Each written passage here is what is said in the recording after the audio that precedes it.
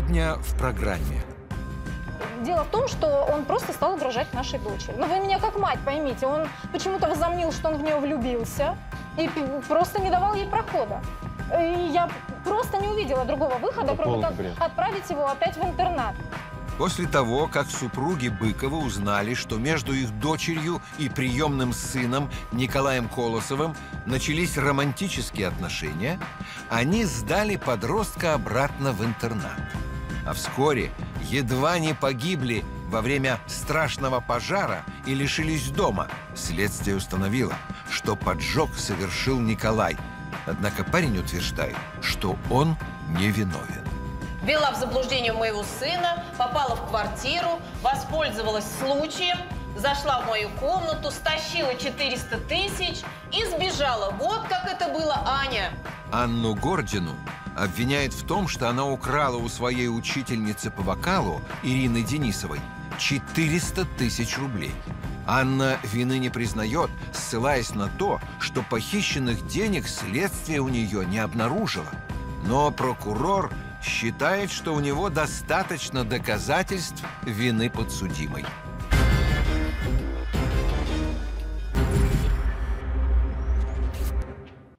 Здравствуйте. Представься, пожалуйста. Здравствуйте, меня зовут Колосов Николай Сергеевич.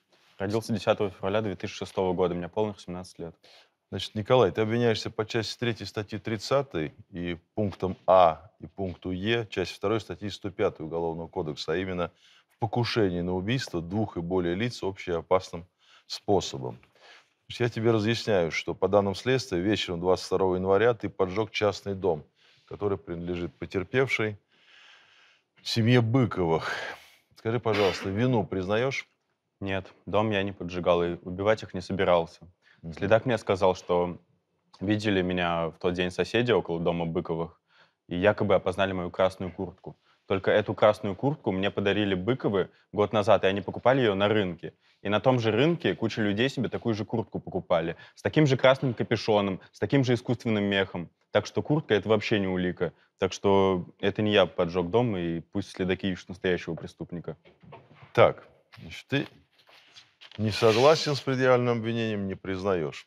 Да. Значит, смотри, в твоей социальной карте указано, что ты попал в детский дом-интернат в возрасте 14 лет после того, как твои родители погибли. 15 лет тебя установили супруги Быковы. За три месяца до совершения преступления тебя вернули в интернат. Так получается? То есть сейчас ты утверждаешь, вот после всего этого, что у тебя с Быковыми нормальные отношения? А вот представьте себе, нормальные у нас отношения. Мгм. Перед тем, как вернуть меня в интернат, они со мной поговорили, все объяснили, попросили не держать на них зла. Мгм. Они сказали, что у них проблемы с деньгами, и что у меня будет лучше в интернате на гособеспечении. Я все понял. Я же не дурак, мне не пять лет, чтобы обижаться. Да и я понимаю, что настоящих родителей мне никто никогда заменить не сможет. И даже после того, как я вернулся в интернат, я ходил к ним в гости, навещал их, и никаких ссор, конфликтов у нас не было. Так что это не я поджег дом. Не ты. Хорошо, тогда давай послушаем внимательно, каким выводом пришло следствие. Пожалуйста, Алексей Александрович, вам слово. Да, уважаемый суд, а, получается, что а, одноэтажный дом, принадлежащий семье Быковых, загорелся, а, вызвали наряд пожарных. Супруги, вернее, семья Быкова в полном составе супруги, их дочь Алена находились в доме. А, Подсудимый утверждает, что не в курсе, кто поджег дом, однако же это не так. По делу была допрошена соседка Алевтина Сергеевна Митрофанова. Она-то и сообщила о возгорании. Также она заявила, что примерно за час до пожара она видела а, в доме у потерпевших подсудимого. Опознала она его не только по вот имеющейся в качестве вещественного доказательства яркой красной куртке, а также она его знала, он как бы там жил, да, и уверенно э, опознала его при проведении опознания а, по личности. А, Митрофанова знакома с подсудимым, а, и также он чистил снег на ее участке, поэтому обознаться она, конечно же, не могла. Да. А Митрофанова не сказала то, что у нас был конфликт в начале зимы? Я ей участок почистил, она мне тысячу обещала. После того, как я все сделал, она мне сказала, что я все сделал плохо и дала только 500 рублей. Я ее обозвал старой жабой, и мы с ней больше не общались. Так что я бы не доверял ее показаниям. Свидетель она так себе. Ну, уважаемый суд, конечно, из-за тысячи рублей оговаривать человека в совершении тяжкого преступления ко- ну, свидетель Митрофанова не стало бы, проверяли это. Вот. эм, Между тем, а, далее следствие установило, что подсудимый, облив дом бензи- э, по- потерпевших бензином, его поджег. Неподалеку от дома Быковых а, была найдена спрятанная в кустах пластиковая бутылка с отпечатками пальцев а, подсудимого. В бутылке остался тот самый бензин, которым, собственно говоря, дом-то и был облит. Кроме того, там же была найдена а, зажигалка с отпечатками пальцев подсудимого. А, Также следы бензина были обнаружены на ранее упомянутой мной красной куртке. А, Бензин, соответственно, в бутылке на, дом, на доме и идентичен следам на а, этой куртке. Где куртку нашли? Куртку изъяли в комнате, в соседней комнате, в интернате. То есть подсудимый пытался все-таки скрыть следы преступления, но это у него не получилось. Быковы спаслись, и только единственное, что глава семьи Артур Геннадьевич сильно пострадал от угарного газа и сейчас находится на а, лечении. Ну, Вот, по поскольку, поскольку все-таки он обвиняется э, в покушении на убийство, это достаточно серьезное обвинение. А вот что касается вреда, ка- какой в итоге вред причинен?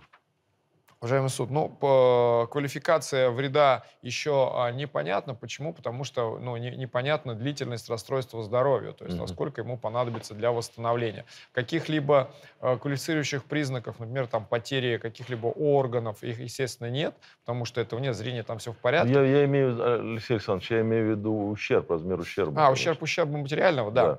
Жилое строение, уважаемый суд, выгорело наполовину. Мгм. И э, согласно оценочной экспертизе, проведенной по делу, оценивается в 2,5 миллиона рублей. Мотив преступления – это месть за то, что они, соответственно, его вернули в интернат, мы полагаем.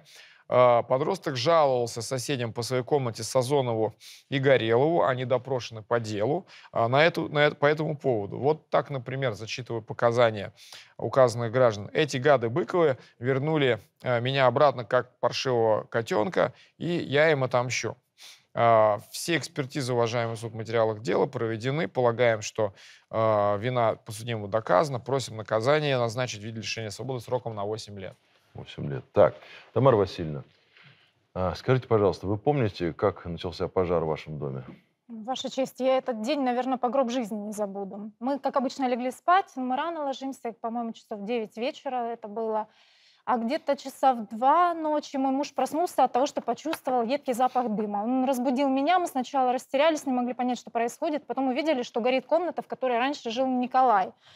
Вот. ну, Началась паника, я начала хватать документы, какие-то деньги. Муж побежал будить Алену, это наша дочь. Мы выскочили на улицу, но даже за это время мой муж наглотался этого угарного газа, и вот сейчас он лечится в санатории.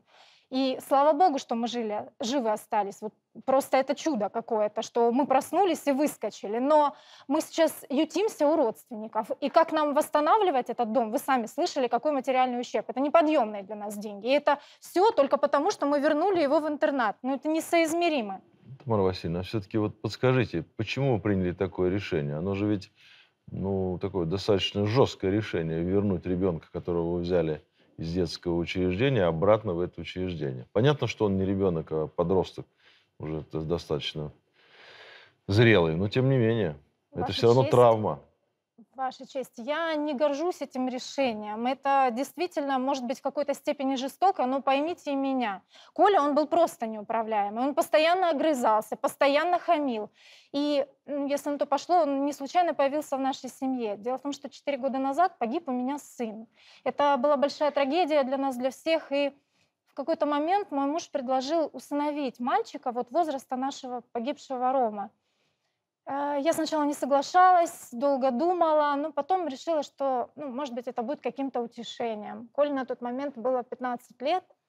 Мы с ним познакомились в интернате, когда туда обратились. Нам сказали, что это мальчик из очень хорошей семьи, что он тоже пережил трагедию, у него погибли родители. Я как-то прониклась к нему всей душой. Я, у меня с сыном всегда были хорошие взаимоотношения. И я считала себя хорошей матерью. Я никогда не думала, что у нас возникнут такие проблемы и вот э, столько недопонимания. Началось с того, что мы обнаружили, что Коля стал воровать пиво у моего Что? мужа.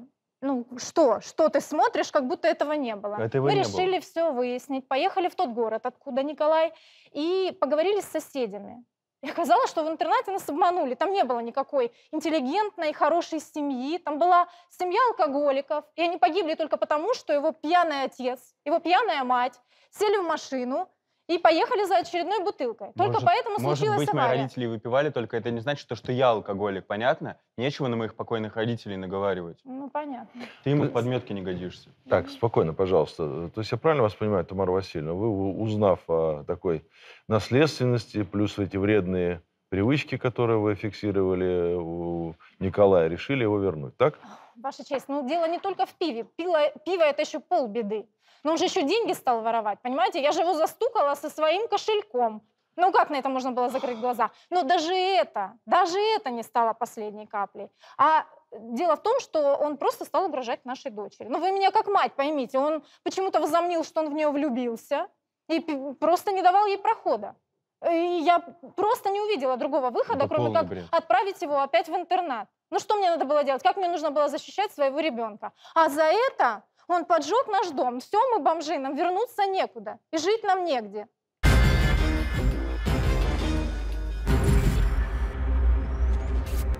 Так, Наталья Егоровна, вы представляете детский дом-интернат, да, где находится Николай. Скажите, пожалуйста, вот когда Николай вернулся снова в интернат, как он себя вел?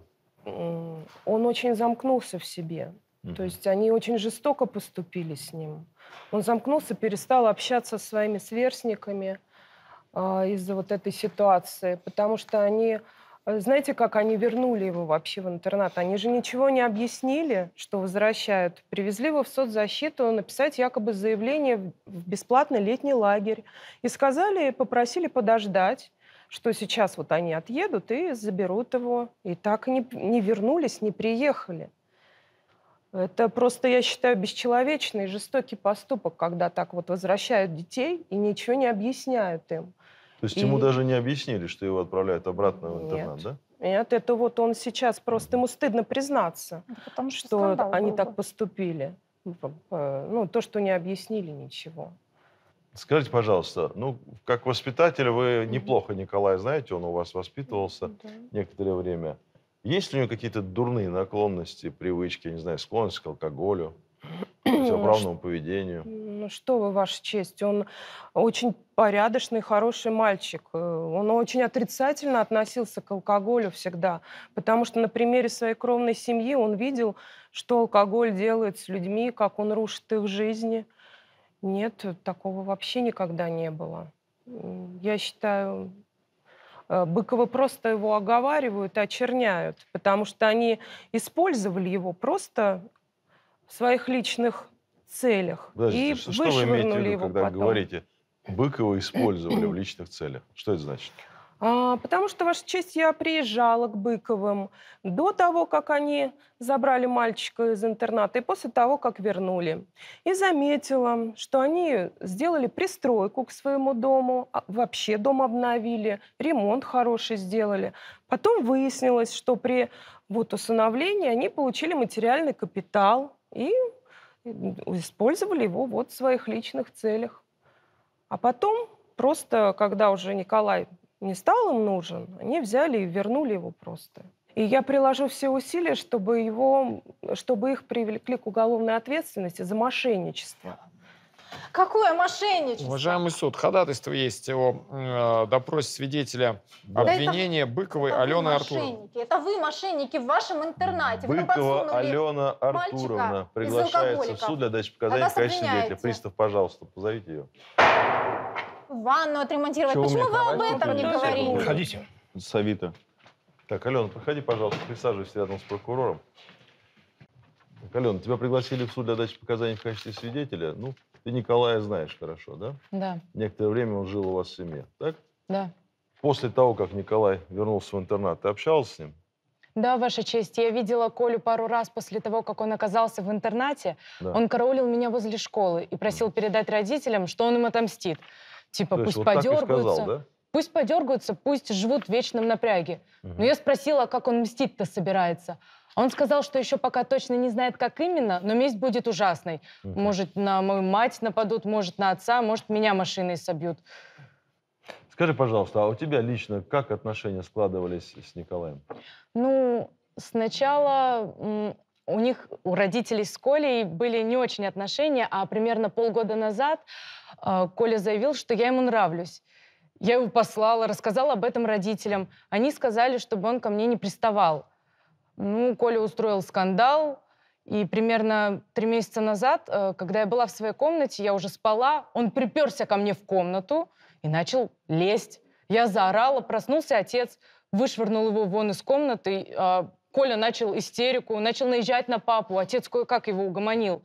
Утром родители поговорили на эту тему и решили вернуть его обратно в интернат. Но они понимали, что если они скажут ему об этом прямо, начнется истерика, скандал. Поэтому они и наврали ему про бесплатный лагерь. Коль, я тебя ненавижу. Алена, я сейчас вообще не понимаю, о чем ты говоришь. За что ты меня ненавидишь? Я же люблю тебя, я не знал, что ты в доме. Я думал, там родители твои, а я их реально терпеть не могу. Я их сжечь хотел, но не тебя. Вот, ваша честь, он признался, Так, что понятно. все-таки дом поджег он. А, Сидит тут. Уважаемый защитник, строит. вот ваш подзащитный только что фактически признался в том, что он хотел сжечь своих приемных родителей. Да, уважаемый суд, Да, что скажете по этому поводу? как говорится, нет повести печальнее на свете, чем повесть об Алене и Николае. Почти шекспировские страсти, но, к сожалению, жизнь – это сложная штука, поэтому я считаю, что нужно э, более подробно разобраться в мотивах, которые м, э, двигали моим подзащитным. В связи с этим у защиты ходатайства о допросе подруги и одноклассницы Алены – это Нина Ковалева. Мы просим Нина ее Ковалева. допросить. Так, приглашается Ковалева Нина Петровна. Пристав, пожалуйста, проводите ее в зал. Я просто того, в шоке от тебя, твоих Алена. собирался жечь, и тебе это Проходите. ни, ни о чем не говорит. Так, Тебя Нина, не присаживайся, пожалуйста. Тебя пригласили в суд для дачи показаний в Да, качестве на нас тебе свидетеля. Тишина, да? пожалуйста. А, Вся эта беда вообще с Колей и пожаром произошла из-за любви Алены и Коли. А, Полгода назад Алена мне рассказывала, что она влюбилась в Колю и объясняла, что ее родители ничего не должны знать. Но если они узнают, то они ее просто убьют. А, Ну и вот, э, чуть больше месяцев трех назад Алена пришла в школу мрачнее тучи. Оказалось, родители их все-таки с Николаем спалили. И после этого у них в семье начался полный трэш. Колю сдали обратно в интернат, ее избили, отобрали телефон, отключили интернет на ее компе. В общем, посадили под домашний арест. И тогда Алену в школу провожала и встречала ее мать, и больше ее никуда не отпускали. А, Ну и вот тогда Алена попросила меня помочь ей встречаться с Колей. И ты смогла помочь ей? Каким же Смогла, образом? Ваша честь, да. Один раз у нас в школе отменили занятия, и я устроила им свидание у меня дома. Это было чуть больше месяца назад. А потом они опять не могли видеться. И из-за этого Алена была в трансе, она волновалась, не знала, что ей делать, паниковала. а, И звонила Коле с моего телефона, жаловалась мне, что без него сойдет с ума. И даже хотела настучать на родителей в опеку, чтобы их ограничили в родительских правах, а ее бы отдали в тот же интернат, что и Колю. Но я ее, естественно, отговаривала, ведь не факт, что ее отдадут в тот же интернат. И, если честно, я не понимаю, если у них была такая любовь, то почему Алена так резко переобулась, пришла в суд и сейчас на стороне родителей, ведь она ненавидела отца с матерью, и даже мне говорила, хоть бы они сдохли, но они бы с Колей поженились и жили бы тогда вместе. Да потому что Колька предатель и больной на всю голову. Я-то думала, что мы с ним вместе свалим, а он решил нам вот так вот всем отомстить. Скажи, пожалуйста, а, а куда это вы вместе, как ты выражаешься, свалить с Николаем? То есть сбежать вы хотели с Николаем? Мы хотели уехать к родне Николая в Москве. Он писал им и говорил, что приедет с девушкой, то есть со мной. И они согласились нас принять. У них частный дом в Подмосковье. Мгм. Но нет же, придурок же решил взять и сжечь нас вместо этого. Алена, ты же понимаешь, что я не знал, что ты дома была. Ты же мне смс отправила, что родители тебя к дядьке отправили. Я не отправляла тебе никаких В смс. смысле ты мне не отправляла? Не отправляла тебе ничего. Э, Николай, мы, мы уже теперь потеряли вообще нить повествования. Какую смс тебе отправила Алена? Куда ты собирался уехать? Как ты собирался уехать? Давай, рассказывай. Ну, мы по с. Аленой после того, как меня вернули в интернат, поддерживали связь только через Нину, только по телефону, потому что мы не могли видеться из-за того, что родители Алены ее очень бдительно контролировали. Мгм. Ну вот мы и придумали, что уедем к моей родне. Мы договорились, что она прогуляет последний урок, я встречу ее около школы, и нас отвезет мой знакомый. Я ему денег дал, договорился с ним. Но когда я пришел, ее там не было. И я позвонил Нине, Нина сказала, что Алены вообще в школе в тот день не было. Это было 20 января. А 21 января я позвонил Нине опять. Нина сказала, что мать Алены звонила в школу и сказала, то, что Алена заболела. А 22 января я получил смс с номера Алены. И там было написано, что все пропало, родители узнали о наших планах, и, и еще написала, что между нами все кончено, и мы никогда не сможем быть вместе, и, и сейчас отвезут ее к дядьке куда-то под Тверь, и у него там дом в глухой деревне, видеокамеры и собаки по периметру. Что ты несешь? Какая еще Тверь? Какой еще дом в глухой деревне? Я просто собирала вещи, вот мама меня испалила и запретила мне временно ходить в школу. А смс я тебе никаких не писала. Тамара Васильевна, у меня к вам вопрос. Может быть, вы поясните, откуда эта смс появилась? Кто ее отправил, кто ее написал? Ваша честь, не хотела говорить, но да, Алена, это мы написали эту смс с твоим отцом, с твоего телефона. Да я когда увидела, что ты вещи собираешь, я же сразу поняла, что вы сбежать собрались. Подумай, дурочка, ты свою жизнь загубишь, ты посмотри на него. Я не допущу, чтобы вы общались, и ничто не станет у меня на пути. Ты офонарела, мама. Я-то думала... Ты мне говоришь, что Коля знал, что я в доме, и он специально решил нас всех поджечь. Оказывается, Коля не знал, что я в доме, что меня, что меня не... Он думал, что Вот. меня нет. И он не хотел моей смерти. Нашей То смерти. есть родителей можно поджигать но без тебя, да? Главное, что меня-то Я он не думал, хотел нико- убить, я а думал, мама что мне никого как сказала. Понятно. Хорошо. Тогда, Николай, расскажи, пожалуйста, еще раз, сначала очень подробно, 22 января, что происходило на самом деле? Я был просто очень зол на Быковых, я был в отчаянии. И, короче, вечером я ушел из интерната, пошел на заправку, там уговорил кого-то мужика отлить мне бензин в бутылку, и потом пошел к дому Быковых, облил цоколь дома и стены бензином, чиркнул зажигалкой и смотрел, как горит дом. Потом вернулся в интернат. Ваша честь, только я не хотел сжигать Быковых, я только дома хотел сжечь, и все. Ну, Я, я просто отомстить им хотел от отчаяния. Алена, я тебя прошу, дождись меня из колонии, и мы с тобой будем вместе. Только вот если меня посадят, тебе уже никто не поможет. Родители тебя живьем сожрут. Ты, ты их бросай и езжай к моей родне. Я с ними договорился, они тебя примут. Ага, во! Да когда ты из колонии выйдешь, она уже Выйду. замужем будет. Мы хорошего парня нашли, не читай тебе. А с таким уголовником она жить не будет. Я не позволю этого, понял? Вот тут ты, мама, очень ошибаешься. Я жду ребенка от Коли, поняла? Какого ребенка? Такого, от большой любви дети получаются. Забеременела, когда мы с Колей у Нинки встречались. Как ты думаешь, мой жених сильно обрадуется, когда узнает, что его невеста, а другого рожать собирается? Ваша честь, я прошу вас, не сажайте Колю, ведь он теперь отцом станет. Суд удаляется для постановления приговора.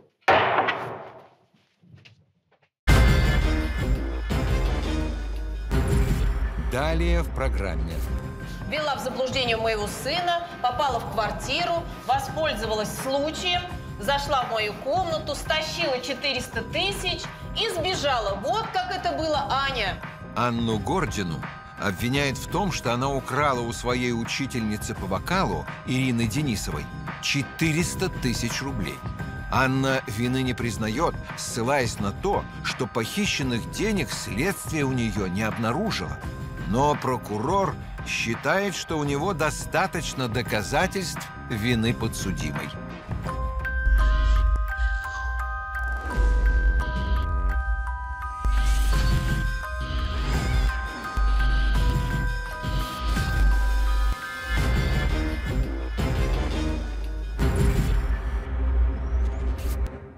Рассмотрев в открытом судебном заседании уголовное дело по обвинению Колосова Николая Сергеевича, несовершеннолетнего, ранее несудимого, в совершении преступления, предусмотренного частью 3 статьи 30 и пунктами А и пунктом Е части 2 статьи 105 Уголовного кодекса Российской Федерации, суд принимает решение. С учетом выявленных обстоятельств дела, а также отсутствия умысла на убийство семьи Быковых, переквалифицировать действия Колосова Николая Сергеевича на часть 2 статьи 167 Уголовного кодекса, то есть умышленное уничтожение имущества путем поджога, признать Колосова Николая Сергеевича виновным в совершении данного преступления, назначить ему наказание в виде лишения свободы на срок 2 года.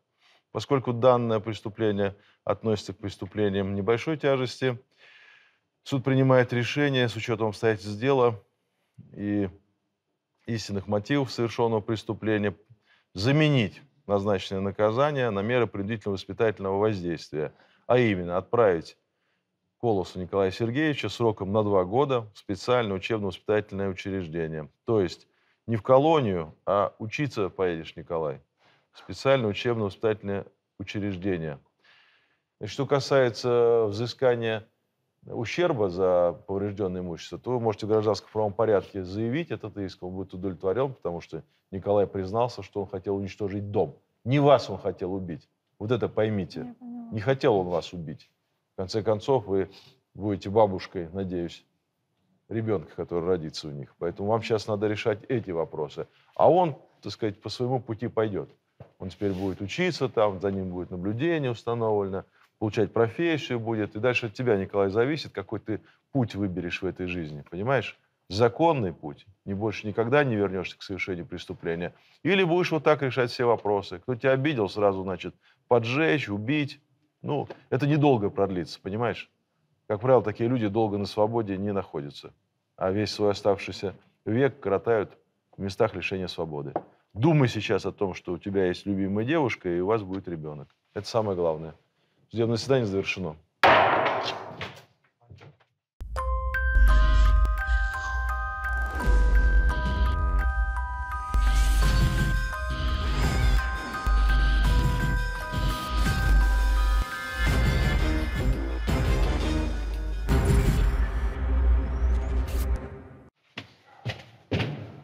Здравствуйте. Представьте, пожалуйста.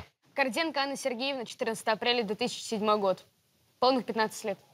Аня, послушай внимательно. Ты обвиняешься по пункту В части 3 статьи 158 Уголовного кодекса Российской Федерации в краже в крупном размере. Вот по данным следствия, 25 декабря ты пришла в гости к своей учительнице, она здесь присутствует в качестве потерпевшей. Денису Ирине Степановне похитил у нее 400 тысяч рублей. Скрыл с места происшествия. Так утверждает следствие. Признаешь свою вину? Нет, я не признаю. Потому что в этот день просто пришла к Ирине Степановне на урок. Мне почему-то открыл дверь Владислав, ты ее сын. Мы мил попили чаю, посидели, а потом пошла домой. Вечером ко мне пришла полиция и сказала, то, что я украла огромную сумму денег. Хотя я просто уверен, то, что Ирина Степановна просто их переложила и забыла. Аня, я все прекрасно помню. Я вообще ничего никуда не перекладывала. У меня всегда деньги лежат в одном и том же ящике. Но еще я прекрасно, знаешь, что помню? Что в этот день у нас не должно было быть с тобой урока. И ты целенаправленно пришла ко мне домой тогда, именно когда меня не было дома. Вела в заблуждение моего сына, попала в квартиру, воспользовалась случаем, зашла в мою комнату, стащила 400 тысяч и сбежала. Вот как это было, Аня. Аня, ну поскольку ты вину не признаешь, Давай послушаем, каким выводом пришло следствие. Пожалуйста, государственное обвинение, вам слово. Да, а, уважаемый суд, согласно материалам обвинительного заключения, а, подсудимая проникла в квартиру потерпевшей под предлогом занятия вокалом. Как, э, как правило, правильно сказала потерпевшая, никакого занятия вокалом в тот день быть не должно было. Из дома она похитила и конкретно из ящика, из ящика письменного стола денежные средства в размере 400 тысяч э, рублей. Других посторонних в квартире в тот день не было. А, грабители также не могли проникнуть в квартиру, соответственно, иные какие-то лица. Почему? Потому что следов взлома дверей не обнаружено, следов взлома окон не обнаружено. Кроме того, квартира стояла на сигнализации. А, и также в квартире находился сын а, потерпевший Денисов Владислав. А, после того, как потерпевшая обнаружила пропажу денег, она сразу же обратилась а, в полицию и указала на подсудимую как на лицо, совершившее преступление. А, подсудимую задержали у нее дома и допросили. Но свою причастность к пропаже денег она отрицала похищенного имущества в тот день конкретно в квартире потерпевшей также не нашли. Ну, конечно же, ничего не нашли. У меня нет моды по ящикам лазить. Да и деньги таскать. Уважаемый суд, а, согласно протоколу осмотра места происшествия, а, произведенного в квартире потерпевшей, на крышке письменного стола, на фасаде верхнего ящика, в котором потерпевшая хранила деньги, угу. обнаружены следы отпечатков пальцев подсудимых. Уважаемый суд, это конверт, в котором потерпевшая хранила денежные средства, 400 тысяч рублей. Имеются и отпечатки пальцев подсудимая, и, согласно там, генетической экспертизе, ее потожировые э, э, следы. То есть, понимаешь, получается как? И на ящике отпечатки, и на конверте отпечатки, и конверты у деньгах, тебя да. нашли. То есть вот, ну, может быть, все-таки, еще раз говорю, перестанешь дурака валять, признаешься. Я ничего нигде не брала, мои отпечатки, это просто какая-то ошибка. Я вам еще раз скажу. Уважаемый суд, тогда про мотив. Корыстные побуждения являются мотивом. А, На что именно подсудимой а, нужны были денежные средства, а, впоследствии ка- заяв- э, вернее, расскажет свидетель обвинения, а, о допросе которого я буду ходатайствовать. А Также иные доказательства виновности подсудимой в ходе судебного следствия будут раскрыты. А, Проведена была по делу психолого-психологическая экспертиза, которая говорит о том, что подсудимая вменяемая отдает отчет своим действиям. Полагаем, что вина ее доказана в совершении преступления, предусмотренным пунктом В части 3 статьи 158 Уголовного кодекса лишения свободы, ой, Уголовного кодекса Российской Федерации, и просим назначить ей наказание в виде э, двух лет э, лишения свободы со штрафом в 50 тысяч рублей. За обычную ошибку в тюрьму, да? Да, конечно, за ошибку. честь, да. это- За Это ошибки, ошибка. за ошибки в тюрьму и попадает. А, Сергей Петрович, спасибо, что вы руку подняли, к вам обращаюсь. Вы отец Ани, да? Да, да. Вот я вижу из документов, представленных в суд, что Аня школу среднюю не закончила. Ей 15 лет, а образования среднего нет. Отчислена за неуспеваемость и грубое поведение. Грубила учителям, да, она? Она сейчас нигде не учится, так? Ваша честь, дело Мгм. в том, что я моряк дальнего плавания, поэтому подолгу отсутствую. И об этом инциденте я узнал Ну, так буквально недавно. устройте ее в интернат тогда, если Я подолгу узнал буквально недавно, по возвращению домой, потому что жена попала, к сожалению, э, в, в больницу, у нее э, кома гли- гликемическая. То есть уже по приезду домой я уже узнал, что вот я, видите, этот момент э, жена упустила, упустила вот Анечку, то поэтому не досмотрела. Как так случилось, я, я не, не понимаю. Я, повторяюсь, я подолгу отсутствую, то есть там по полгода ухожу в плавание, поэтому вот не было возможности вот лично мне А проследить. раньше, раньше с дочкой проблемы были? Ну как, не было, вот э, сейчас, сейчас только вот столкнулись э, с такой ситуацией.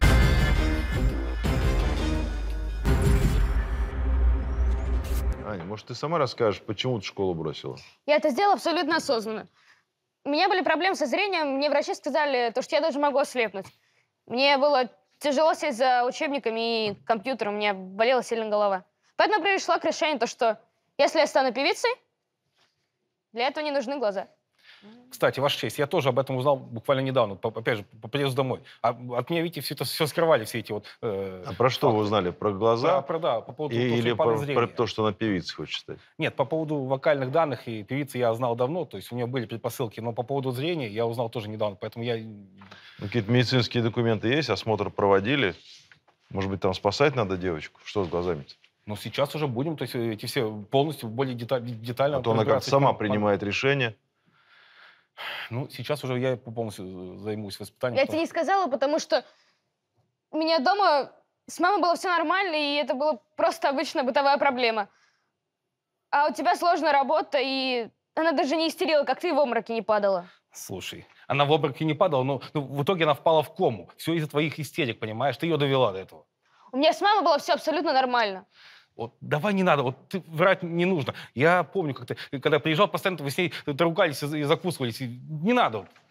не ври, пожалуйста. Ваша постоянно у нас честь. были э, конфликты и скандалы. Ваша Мгм. честь, можно я еще скажу по поводу того, что Да, она пожалуйста. э, обманывала своих родителей? Потому что, когда у нас был урок, он закончился, Аня забыла у меня телефон. Поступил звонок на ее телефон, я взяла, видела, что мама звонит. Э, Мама ее, Нина Павловна, очень удивилась, кто я такая. Потому что в то время, когда позвонила она, Аня должна была находиться у репетитора по английскому.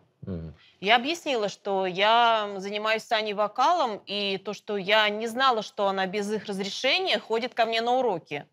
Мне было очень-очень неприятно. Потом Нина Павловна спросила, а сколько мы занимаемся? Я сказала, три месяца. Э, Ей было очень неприятно и обидно то, что столько времени дочь ее обманывает. Понимаете? Я, конечно же, пообещала, что я больше без их разрешения, конечно же, не буду с ней заниматься. И мы действительно с ней около двух недель не занимались. Но потом вы занятия возобновили, правильно я понимаю? Да, мы возобновили занятия. Она в середине декабря мне позвонила, сказала, что у них беда в семье. Мама в коме, и чтобы как-то хотя бы отвлечься от этого, она попросила, слезно попросила меня еще раз позаниматься, потому что она не может жить без музыки, без пения. И сказала, что м, за уроки будет платить ее старшая сестра Наталья. Дала мне ее телефон, я с Натальей связалась, Наталья подтвердила, мы возобновили уроки. И вы знаете, Ваша честь, я думаю, что она возобновила уроки только с одной целью, чтобы меня обокрасть, потому что она уже тогда знала, что есть деньги, она поставила себе цель и стала ходить на уроки только с этой целью, что она и сделала, в принципе. Да я даже не видела ваши деньги. Да что Откуда ты я могу говоришь? знать, то, что вы дома храните такую огромную сумму? Ты прекрасно все знала, ты прекрасно все слышала, потому что я при тебе, Ваша честь, я разговаривала с, покуп- э, с продавцом автомобиля, я на эти деньги хотела приобрести себе автомобиль. Я разговаривала, она все прекрасно слышала. Я сказала продавцу, что я уже готова рассчитаться, я сняла деньги с карточки. Э, Сделка у нас была назначена на 26 декабря. Поэтому Аня все рассчитала. 25 декабря она попала ко мне в квартиру. А откуда она знала, что я храню деньги в ящике? Потому что как-то она рассчитывалась со мной пятитысячной купюрой. И я при ней сдавала ей сдачу. Ну, я думала, что девочка из э, хорошей, нормальной семьи, я не могла ничего заподозрить. Открыла ящик, достала деньги, сдала ей сдачу. И я ничего не могла подумать, что такая юная дама может э, такое сделать. Ваша честь, могу я вам сказать, пожалуйста, честно? Да, пожалуйста. А, Я в этот день пришла к Ирине Степановне по личным причинам. Я пришла к э, сыну Владиславу. И у меня никакой корысти к ее деньгам абсолютно не было. Ты к Владиславу пришла? Я Да. впервые слышу, что вы с ним общаетесь. Судя по всему, не только у меня секреты. Я бы пришла на свидание. И ваши деньги мне даже не интересны. Ты на свидание? Да тебе нет 16 лет. Мой Владик никогда бы не стал связываться с малолеткой. Чушь какая-то. А, уважаемый суд, позвольте э, пригласить в зал судебного заседания и допросить в качестве свидетеля обвинения сына потерпевшей Дениса Владислава Валерьевича. Пусть внесет ясность, как и что там Давайте происходило. пригласим Денисова Владислава Валерьевича. Пристав, пожалуйста, проводите его в зал. Да Аня, отстаньте вы все от меня. Послушай, если ты взяла, отдай, и все. И, за- и Вот э, цирк уже. доказательств куча. А ты Так, сидишь и? Проходи, пожалуйста, Владислав, присаживайся рядом нет с у меня Сейчас бы ничего Не бы этого наших, не а было. чужих. Так, свидетеля допрашиваем. Владислав, тебя пригласили в суд для дачи показаний в качестве свидетеля. Поясни, пожалуйста, 25 декабря, ты помнишь, что происходило в этот день? Ваша честь, Да. я был дома после обеда. В 5 часов вечера пришла Анна. Мгм. Э, сказала, что ей нужно делать урок. Но я ее впустил на кухню. И Потом она к тебе пришла или к маме? Она пришла к э, маме. А, Сказала, что ей нужно делать, э, делать урок. Я ее пригласил на кухню, предложил чай. Потом она сказала, ей нужно Мгм. идти в комнату, э, где она постоянно занимается с матерью. Ну, сказала, что ей нужно распеваться, заниматься уроком. Я ее впустил, она начала одна распеваться, делать урок. Э, Потом я позвонил маме, Занималась сказал, что Анна пришла и что ее ждет. На что мама просто ответила, что она перепутала дни. И сказала, что сама ей позвонит и обо всем поговорит. Ну, в итоге она так и сделала, позвонила, обо всем поговорила. Потом Аня ушла. А потом, когда пришла мама, она увидела, что все деньги, которые у нее были, они исчезли. А я-то про эти деньги вообще не знал, иначе я бы просто Аню к себе в комнату бы не пустил. Понятно. Но вот Аня утверждает, что пришла не к маме заниматься, а, а к тебе лично. Ко мне? Да. Что вообще за глупости? Да чего ты выкручиваешься? Я к тебе приходила, чтобы солисткой стать. Постоянно ходила на все репетиции. А в этот день мы с тобой хотели узнать, буду я солисткой в твоей группе или нет. Анька, я тебя на репетиции силы, что ли, тащил? Да ты сама просилась. А еще ты мне сказал, то, что если я хочу стать солисткой, должна купить себе что? Синтезатор. Да ты сама хвостиком бегала за мной, ваша честь. Что хоть как-то она от меня отстала, я ей сказал, купи мне, синте... я те... купи мне синтезатор. Ну, я не думал, что она так близко к сердцу все воспримет. У нее денег просто таких на всего нет. Ваша честь, я не знал, что она украдет эти деньги. Да ты сам мне сказал украсть деньги. Потому что тебе мама не давала денег на синтезатор, потому что это были деньги на машину. Мы все заключили договор. Я покупаю тебе синтезатор и кла- краду деньги, а я становлюсь тебе солисткой в группе. Но пришла полиция, я не успела тебе купить синтезатор и украсть деньги. Подожди, Ань, ты сейчас фактически признаешься в том, что ты вступила в сговор с Владиславом, чтобы похитить эти деньги. То есть ты деньги-то украла все-таки? Да, я признаюсь, потому что я очень сильно хотела стать солисткой. Но я увидела полицию, поняла, то, что надо убирать деньги. Я их засунула в духовку и сожгла. А когда поняла, то, что я не успеваю, смыла их в туалет. Владик, Так и вышло. так это значит, ты навел Аню на мои деньги? Как ты мог? Мам, я тебе про этот синтезатор еще давно говорил. Он новый, он нам очень нужен. У нас репетиции, мы перед конкурсом просто должны выступить. А ты мне предлагал купить какую-то колымагу, от которой просто геморрой бы был. Я ж тебя от лишних проблем освобождал, как ты этого не понимаешь? Нет, мой дорогой, это ты этого ничего-то не понимаешь. Видимо, я тебя неправильно воспитывала, залюбила тебя очень. Теперь я палец о палец ради тебя не ударю. Я потом и кровью эти 400 тысяч зарабатывала, чтобы хоть раз в жизни себе что-то купить. А вы, дорогой Сергей Петрович, пока мне до единой копеечки все не отдадите, я с вас не слезу. Так, Аня, ты вообще без мозгов, получается, у нас, да? Полная дура. Как ты, как ты умудрилась сжечь деньги? Ты что, вообще не, не понимаешь? Так, по поводу денег я возвращать ничего не буду. Ваша честь, сажайте, пускай, пусть- пускай посидит, может Папа! быть, ума наберет. Все, сажайте. Не, мне такая дочь не нужна. Не надо, все. Я не хочу в тюрьму, езжай. папа. Денег я не буду тебя уплачивать. Не Сергей надо. Я не хочу ну, на тюрьму. самом деле в том, что произошло, есть и ваша вина. Есть ваша вина. Поясните. Уважаемый суд, э, м, Что защита предполагает, Что что? Аня совершила преступление в силу стечения тяжелых жизненных обстоятельств. К сожалению, она почему-то не говорит всей правды. А в связи с этим мы ходатайствуем о вызове э, для допроса ее родную сестру Наталью, Горди... Наталью Гордину. Прошу прощения. Мгм. Хорошо. И что вот, что Давайте пригласим а? Гордину Наталью Сергеевну. Пожалуйста, Вернешь, пристав, проводите ее в зал. хочешь, там и Проходите. Вырастет. Так, Наталья, присаживайтесь, пожалуйста. А, Наталья, тебя пригласили в суд для дачи показаний в качестве свидетеля. Ну вот Аня, твоя сестра, ты ее, конечно, прекрасно знаешь, сейчас привлекается к ответственности из-за хищения крупной суммы денег у своей учительницы, 400 тысяч рублей. Пропала, и Аня только что призналась, что она это сделала. Ну как ты думаешь, почему она это сделала? Ваша честь, мне очень жаль, что Аня украла чужие деньги. Но я хочу сказать несколько слов в ее защиту.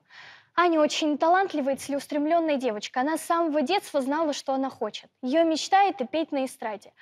Но ни папа, ни мама ее в этом не поддерживали. Папа считает, что все певицы безмозглые дешевки, а мама хотела, чтобы она поступила в юридический. Она и меня туда запихнула, только вот толку от этого никакого нет. Я проучилась там пять лет, а сейчас работаю администратором на ресепшене. Аня, в отличие от меня, идет к своей цели, несмотря на все запреты родителей. Ну, как- каким же образом она это делает? Аня тайно занималась вокалом, Мгм. участвовала в различных э, конкурсах, а мама об этом не знала. Э, И не знала то, что она не ходила в школу. А когда узнала, то очень на нее разозлилась, начала кричать. Во- Вообще говорила, что она дома ее запрет. Это Аня мне звонила и жаловалась. А потом мама впала в гликемическую кому. И у нее пошли осложнения, у нее отказали ноги. Все врачи опускали руки, но в одном медицинском центре нам согласились помочь. Только вот реабилитация там стоила 400 тысяч.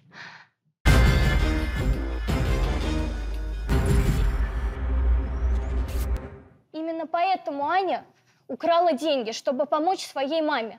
Хорошо, я здесь при чем? Я вам сочувствую, но я здесь при чем? Решайте свои вопросы сами. Отец не мог за нее заплатить, поэтому Аня пошла ради нее на все. Послушай, ты, бессовестный. Анька, Ань, то есть ты синтезатор покупать вообще не собиралась, Ты да? бессовестный Ну, ты мне, деле, конечно, понимаешь? придумала еще Как, так. как, Ты ты, как ты могла так, не на- на- на- позорься. так, так, так подумать-то?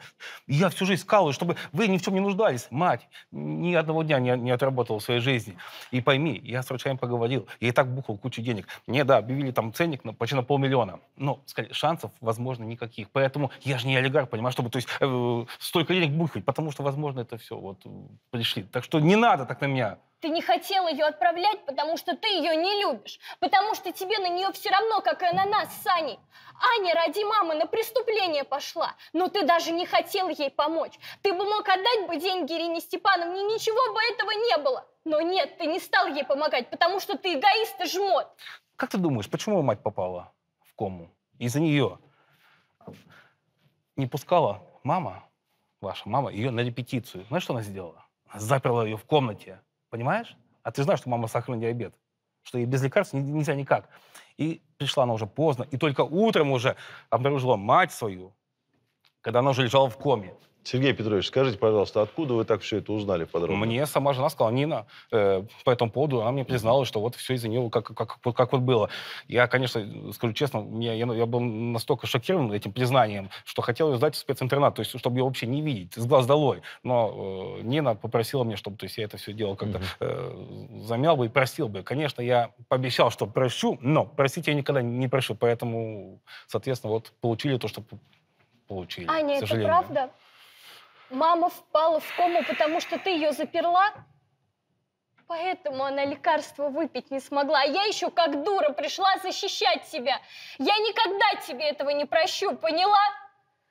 Блин, да чего вы себе пристали? Так получилось. Мама меня заперла в комнате, я кричала. Она испугалась, открыла дверь. Я выбежала, закрыла за собой дверь.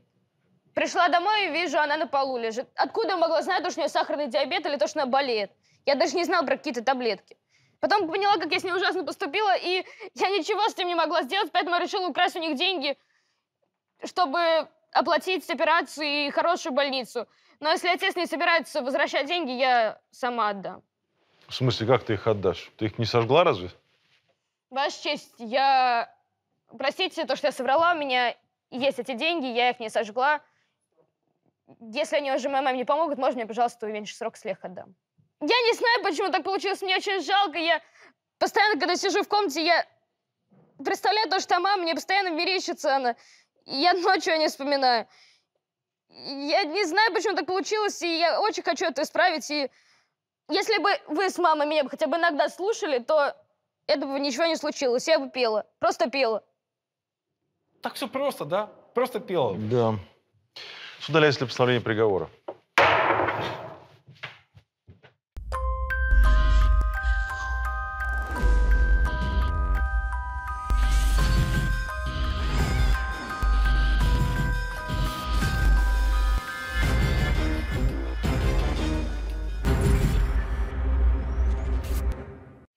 Рассмотрев в открытом судебном заседании уголовное дело по обвинению Гординой Анны Сергеевны, несовершеннолетней, ранее несудимой, в совершении преступления, предусмотренного пунктом В части 3 статьи 158 Уголовного кодекса, суд принимает решение признать Гордину Анну Сергеевну виновной в совершении данного преступления, назначить ей наказание в виде лишения свободы сроком на два года.